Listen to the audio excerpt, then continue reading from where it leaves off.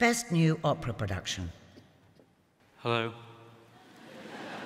uh, um, thank you very much. It's a real honour to uh, receive this award on behalf of the whole company.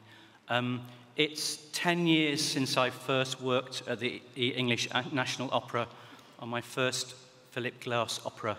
Um, this was my third Philip Glass opera. It's been a really fruitful collaboration. Um, opera is a, a unique collaboration. It involves so many different disciplines coming together. Um, for Akhnaten, we decided to add some juggling as well. Uh, so that was a bit of a challenge.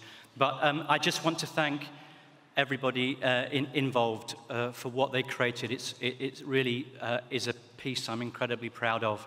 Um, I want to thank my creative team, Tom Pye, amazing design, Kevin Pollard, amazing costumes, Bruno Poet, uh, of course, poetic, beautiful lighting.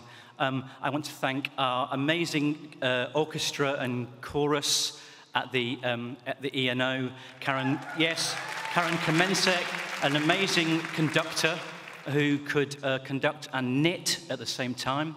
It makes sense with Glass, I can tell you. Um, and uh, all the backstage crew and everyone who, who brought it together. Um, there was a, a, another involvement as well. Sean Gandini and his amazing jugglers created the most beautiful visual poetry that went with the music. Just really, really wonderful. And of course, the wonderful singers um, led by Anthony Roth Costanzo and uh, Zachary James, our amazing scribe.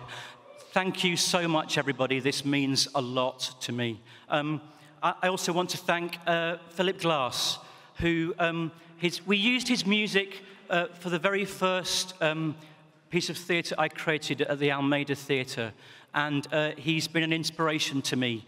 Um, so thank you very much, everybody. Really honoured.